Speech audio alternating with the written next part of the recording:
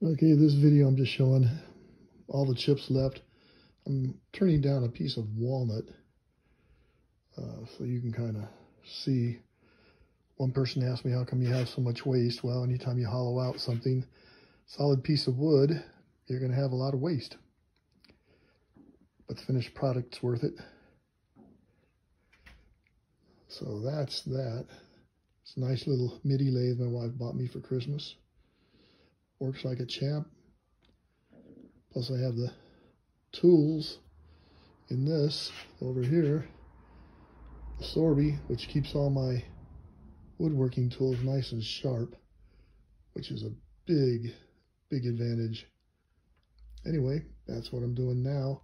And then this wood, when I get done with it here, what it's going to look like, different color, is this piece here. And what this is going to be is a salt and pepper mill. This will be the salt because it's light, lighter color.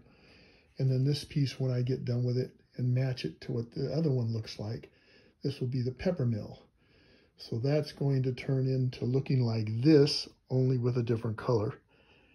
And then it's got antiquing and stuff I will have done, and it'll look pretty good. So that's what I'm working on right at the moment.